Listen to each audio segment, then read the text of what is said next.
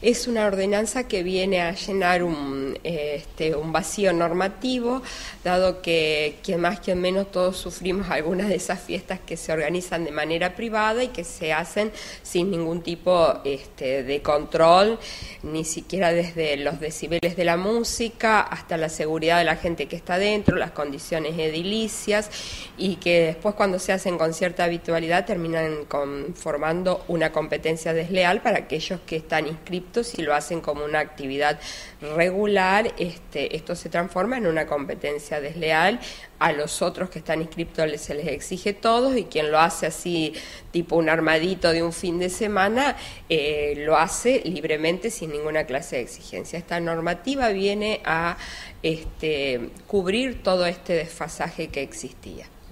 Eh, bueno, fue aprobada por unanimidad, es decir, que su bloque acompañó eh, todo el proyecto. Sí, este, bueno, cuando ingresé acá la ordenanza ya este, estaba ingresada de principio del año 2013 y se planteó la necesidad eh,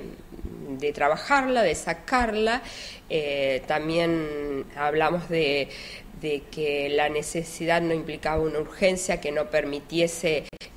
hacer una buena un buen estudio, una buena elaboración de algunas propuestas de cambio que de hecho se hizo y también se habló y dejamos abierta la posibilidad que el Poder Ejecutivo reglamente la ordenanza. Es algo que no es muy común, que por ahí la gente no está acostumbrado a verlo, ni tampoco los concejales, pero el Poder Ejecutivo tiene derecho a reglamentar la ordenanza y podría hacerlo en cuanto a establecer a qué le podemos considerar la periodicidad del lugar, de las personas